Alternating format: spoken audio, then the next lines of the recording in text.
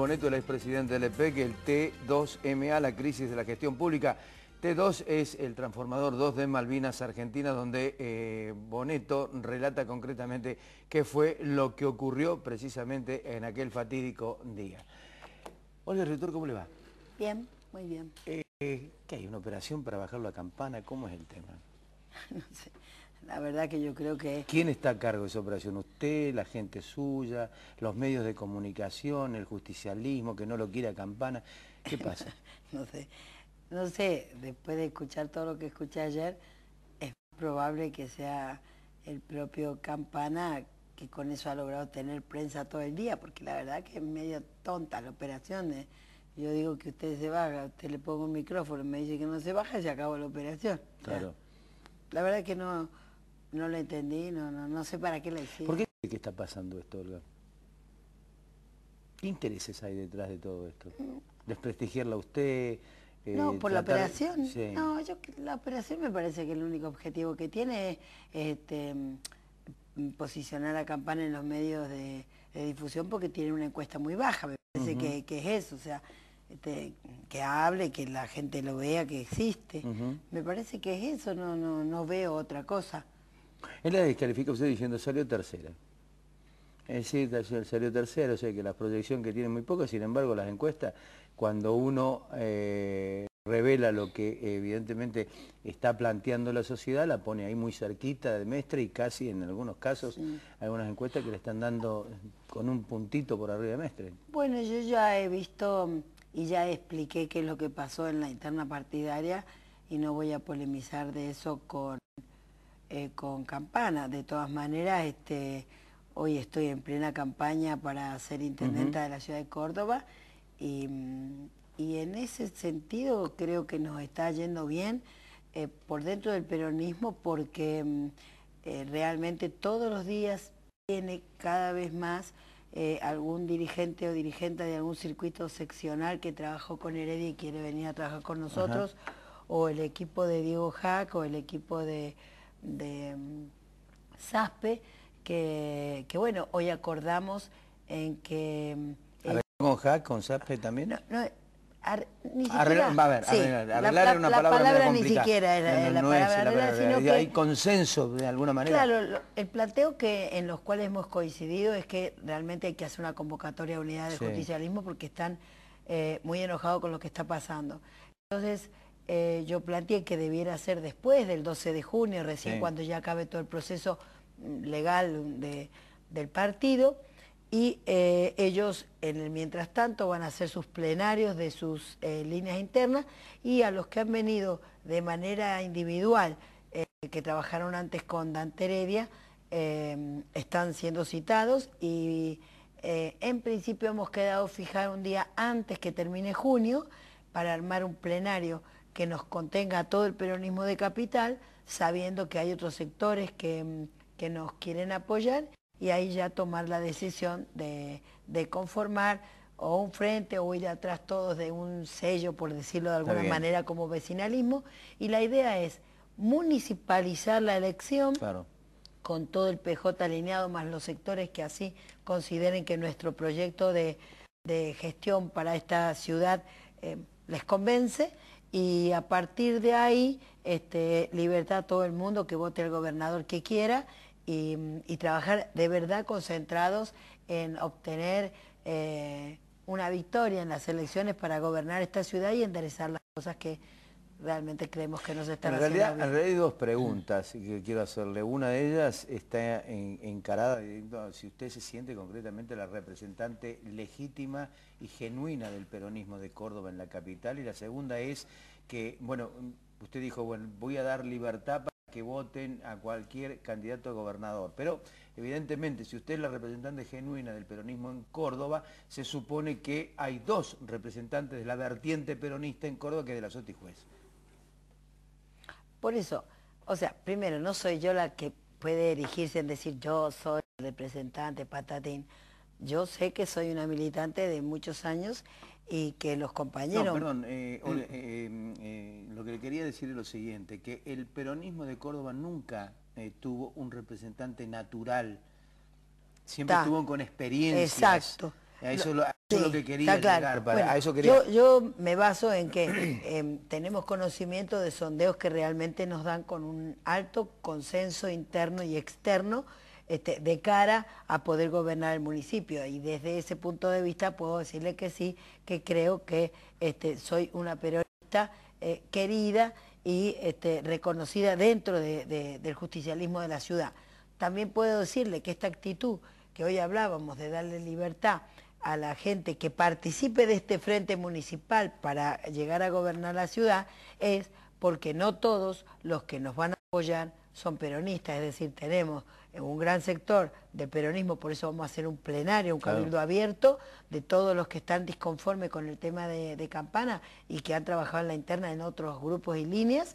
Y aparte del peronismo, estamos convocando a sectores universitarios, a sectores productivos, etcétera, que bueno, que pueden o no coincidir en que el, el, candidato del PJ gobernador les guste o no. Por eso es que decimos que para no influir ni para un lado ni para el otro, libertad para que elijan al gobernador que quieran y acordemos un modelo de gestión y un análisis de la realidad que eh, coincida. Le voy a pedir que prescinda de eh, el pasado con su ex esposo como político. Hace rato que, prescinda. Sí, sí, no, no, sí, lo que quiero explicar es a, tono de qué viene esto. Es decir, que lo vea como el dirigente político que es. Eh, cuando leyó esa carta enviada a los cordobeses, ¿le creyó realmente Usted no me va a creer, pero sabe que yo no la escuché. No, no, no, la que leyó, no, no, la leyó tampoco. Ni, la ley, y yo, no sé si es que ese día estaban, venían todos mis nietos y mi familia, que de verdad uno me dice, la verdad que vos no leíste el diario, lo ojeaste, y de verdad que lo ojeé, pero me lo comentaron, pero de verdad que no lo leí. Y no lo hice ni por acordarme ni por dejarme de acordar. yo una cosa? Yo no le creo tampoco. Pero, a ver, ¿por qué no le habla a mi familia? De verdad que no, porque es como que sé lo que puede decir y lo conozco mucho, tal vez, pero lo digo sinceramente, porque además yo, ¿qué le diría? ¿Me gustó o no me gustó? Claro. ¿Le creí o no me creí? No, no, pero es una cuestión eh, política. Todo el mundo reconoce que, que, bueno, De la Sota es un dirigente eh, del justicialismo, de muchísimos años de militancia y que es un hombre inteligente y que dentro del justicialismo es al que mejor le da la encuesta como candidato, eso es un dato de la realidad. Este, pero le juro de verdad que no ¿Le hubiera aconsejado a usted volver a repetir un periodo de esta naturaleza de la SOTA? Sí, porque a él también le dan los sondeos positivos. Lo que me parece que si yo hubiera podido dialogar y recomendar, le hubiera dicho que escuchara más a la militancia de la ciudad, y que fuera realmente justo y no discriminatorio, porque la actitud que está teniendo él y Schiaretti respecto del peronismo de la ciudad es de una, eh, un gesto discriminatorio no, entiendo cuáles son los, los móviles que hacen que ellos lo tengan, porque si eligieron el consenso para el interior y para gobernador, porque bajaron a todos los que querían ser candidatos, con conversaciones, etcétera. ¿Por qué no usaron el mismo método para la capital? Usted dice los móviles. Hay, una pregunta que hace rato eh, eh, tengo, quería hacérsela concretamente cuando la tuviera, eh, estuviéramos charlando o analizando la política de Córdoba.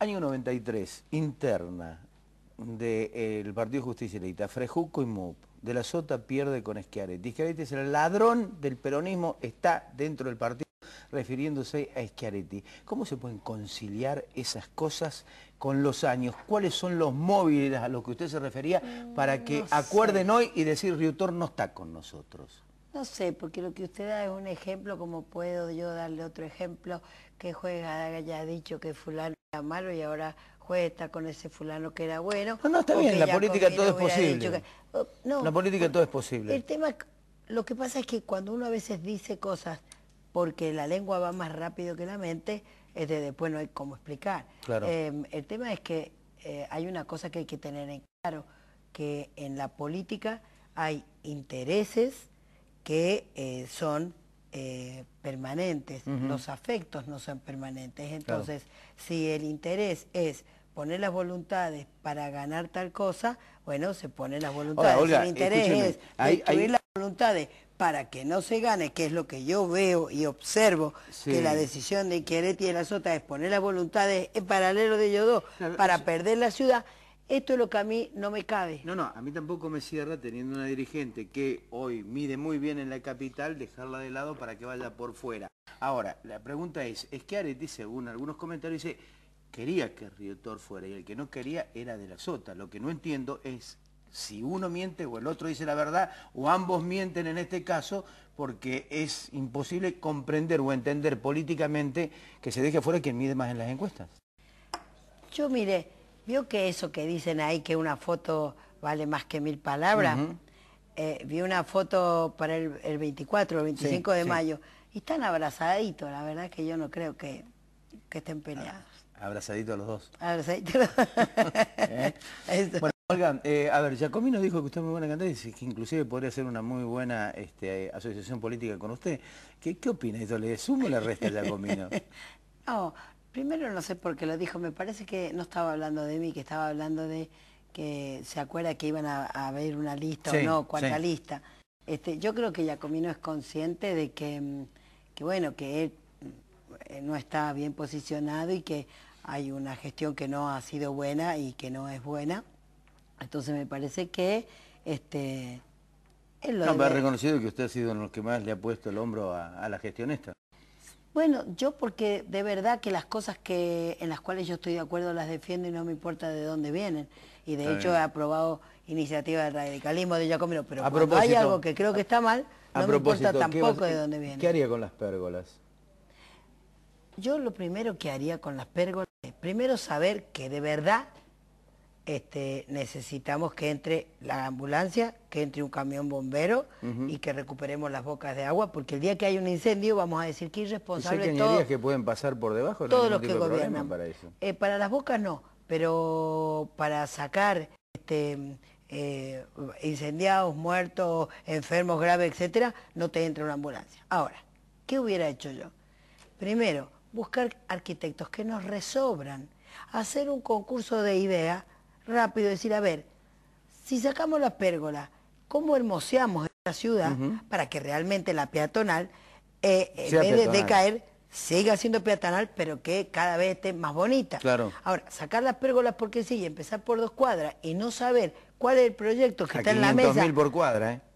Sí, pero supóngase que fuera claro, que no sé porque la verdad que sé lo mismo que usted porque lo leí en el diario, porque nunca nadie dijo, miren, vamos a hacer esto, fíjense, este es el proyecto para hermosear. Después me puse a pensar, si yo le sacara el macetero y tengo los dos palos, el ancho que me queda, por ahí a lo mejor puede ya pasar un camión de bomberos, puede pasar la ambulancia, hasta tanto yo revalorice la peatonal, porque debe seguir siendo peatonal y debe ser una cosa alegre, con plantas, que pueda tener mesas, que pueda tener confiterías como cualquier peatonal del mundo. Ahora, levantar por levantar y destruir todo sin decir, mira, este es el diseño porque lo hicieron estos arquitectos y entre esto hemos elegido y esta obra va a salir tanto y vamos a sacar la plata de acá, esto es lo que la gente critica. La última, y me quedan pocos minutos nada más. Eh, colectivos, hoy fue un gran debate.